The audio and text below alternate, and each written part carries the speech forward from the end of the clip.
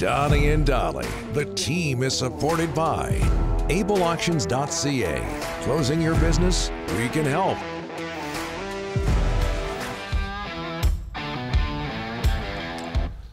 It is Tuesday, and all of our guests today are brought to you by our friends at the Waddling Dog Pub. One of Victoria's historic watering holes welcomes you to come see why they are the talk of the peninsula. Their 50 seat patio is now open, and the return of no cover UFC night slotted to return in June, all while showing all the NHL, NBA playoff action, CFL, MLB. Also, swing by their attached liquor store to pick up your Donnie and Dhali swag. There are countless reasons to come, sit, stay at the Waddling Dog. We got Craig? TSN Scouting Director Craig Button. Not I would imagine he's a little bit busy these days, but he normally joins us on a Tuesday. Looks like he's going to join us on a Wednesday. No, no, No, we got him. no. I don't have Okay. him yet, but I will have him. So the Canucks stay, as we talked about uh, earlier. Chicago wins the NHL draft lottery yesterday. They're going to pick Connor Bedard. This just in. But the Canucks stay at number 11 in the NHL draft lottery. Uh, lottery's been around since what, 1995? The Yep. Canucks have never, ever moved up. Vancouver Canucks, keeping the tradition alive. They've picked once at 11. Who was it? What year? 82. Think Tiger Williams. Tiger Williams. Uh, No, tough guy. You mean tough guy? Are you saying tough guy? They picked. at No, I, I- I'm, I'm saying because Give me the initials. Tiger Williams' reaction to the pick they made. Do you remember? No, I don't remember. Mike Small? Come on. Uh, Gary Lupul.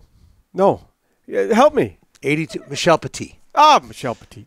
Of course, Michel. Number twenty-four, Michel Petit. Yeah, and uh, remember Tiger Williams afterwards? Hey, I, I hear we uh, have a new draft pick, a new new player. His name's Mike Small. Michel Petit. Petit. I get it. Tiger was having having some fun. Tiger's great. And M- Michel Petit, solid National Hockey League defenseman, played close to, well, between 800 and 900 games. Bounced around, Donnie. Ten teams. He's one, of, Bounced the- he's one of those Brent Ashton, Mike Sillinger uh, types. All those guys played with the Canucks at one time or And another. J.J. Daigneault, he bounced around too, uh, Donnie. Yes, another uh, uh, infamous uh, draft Yeah. pick, but it was Michel Petit at number 11. Now, in case you think, now I don't have the uh, the, the poor examples here.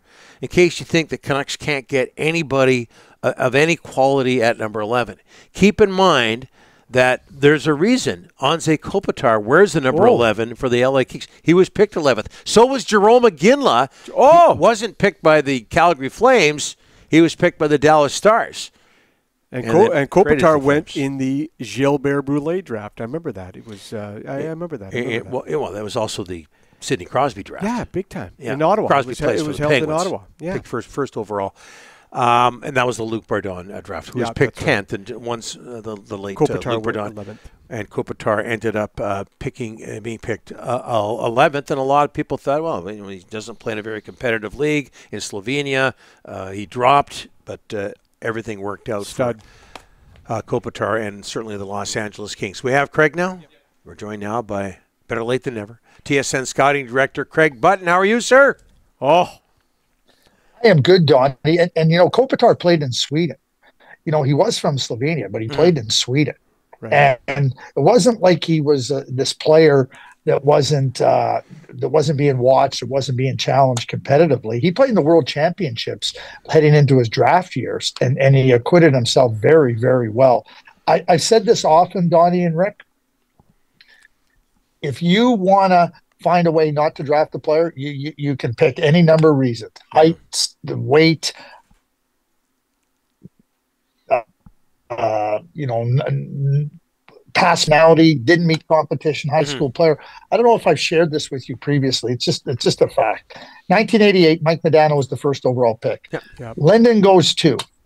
At at eight is Jeremy Roenick, high school player, can't be drafting high school players. At nine was Rod Brind'Amour, can't be drafting tier two players from Notre Dame, Saskatchewan. At number ten was Teemu Selanne, who, uh, oh my God, can you? believe- Why would you draft a, a, a Finnish player?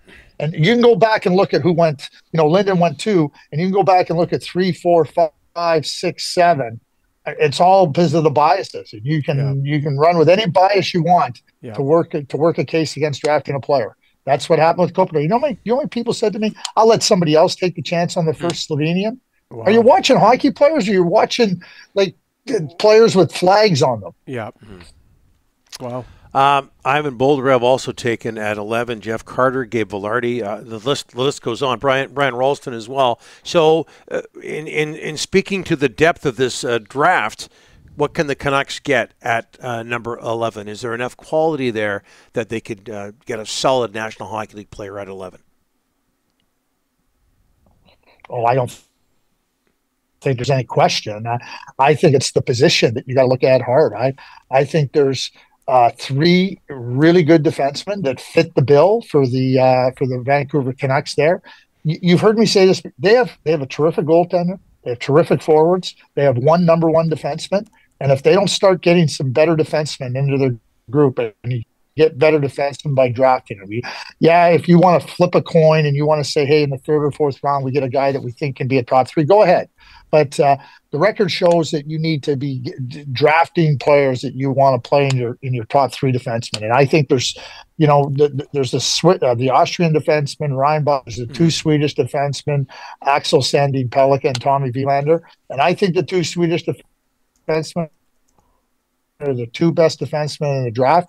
is good, but that's I mean I think that the, the, that the Vancouver Canucks have to put a stake in the ground. And to me, I know everybody evaluates players differently, but that's why there's three there. And and, and Reinbacher might not be there when they pick eleven, but I don't see any other defenseman any other defenseman after those three that to me projects as a top three defenseman in the NHL. Not one. Now, does that mean that somebody won't emerge potentially down the road? No, I'm not like that. Definitely. But at this point in time, is what you're dealing with.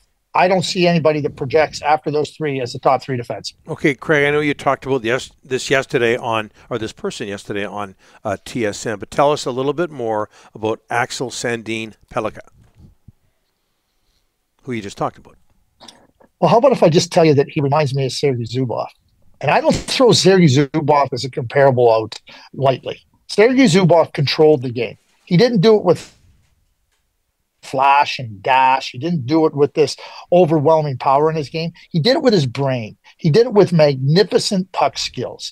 And to me, when I watch Sandin Pellikka, he led Swedish defensemen at the World Junior Tournament in time on ice per game. He was 17 years old. The coach tells you that. I'm watching him over the course of, of the last 18 months, 16, 18 months, and all I see is massive progression. I turned to Bryan Mudryk during the semifinal. I said, Hey, when this kid makes a mistake, let me know. Like he doesn't make mistakes anywhere.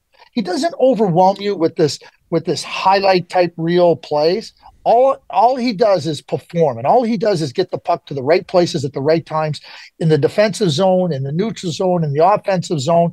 And Sergei Zubov controlled the game controlled the game start to finish. And to me when I watch Axel Sandin Pellikka play that's what I see in him. I think he's the best defenseman in the draft. My final list is going to come out he will be in my top 5 players that's what I now I'm not saying wow. that I have all the answers but that's how I assess this guy and I think he's that good Craig, the Canucks were fined $50,000 by the NHL for holding on ice sessions with players in the offseason. Happened uh, about three weeks ago. Uh, what are your thoughts on that? I mean, is this a case of where they should have known not to do this? Absolutely they should have known not to do it. I mean, the, the, the, rules with respect to the CBA are in place. And, you know, if you're going to violate them, you're, you're going to pay a penalty. And, you know, it, it, it's not like we can look at $50,000. The, the $50,000 fine is there to, to mete out a, a, form of punishment. And obviously, it, it, wasn't considered severe, or the penalty would have been uh, higher and greater. But teams, and, and Lou Lamoriello reminded me of this when I was a manager. He goes, right? You can look at the CBA. You can say that other people, you know, might have missed something with with, with respect to, to, to, to informing you or, or, whatever. He goes, as a manager, you have to know the rules, and when the rules are not adhered to, that's on you. So that's on the Vancouver Canucks. End of story. Yeah. Uh, Craig, I hate to read the papers in Toronto if the Leafs go out in four straight. I think uh, Marner, Matthews, uh, Tavares, and Nylander, they're going to get a ton of heat. Uh, what's your read on them so far? The fabulous four, no goals in the first three games of the series with Florida.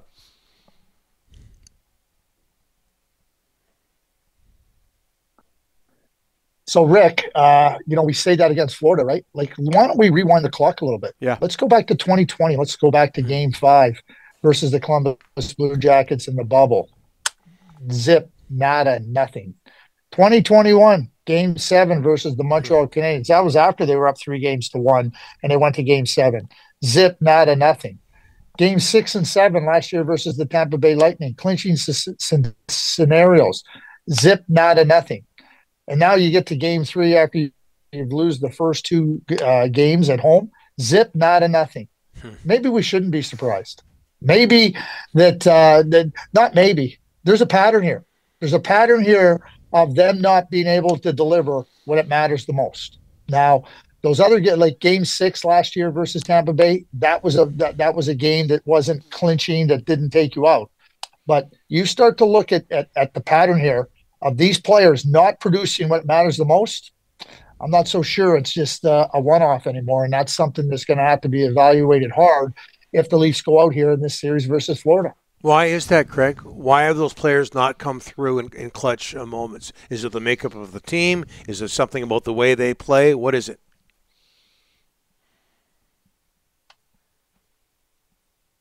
You know, those are all. I, I think that you, you know you could say any number of those things. It could it could be all of them. It could be one of them. I, I think that they're really good players, and and one of the things I believe in is really good players will be able to produce. It's hard. You got opponent now in Florida that's pushing you hard and and and making sure that they're going to provide every bit of resistance to what you're trying to do in your best efforts. And so that being said, I think that players have to learn it. Sometimes we want players to learn it quicker. Sometimes there's a it takes a little bit of time. And and you know, we can go back and and, and look at, at, at other players. You know, Steve Yzerman, a great, great player. You know, he, he was in his 14th year in the league when he won, and there was questions, could he deliver? Alexander Ovechkin, would you ever win with Alexander Ovechkin? And, there, and those questions abounded. And, and and that's just the nature of being a star player, a superstar player. And and maybe we want those answers sooner. Maybe we want to see evidence of that sooner. When I say we, I'm talking about the the fan and and, mm. and media.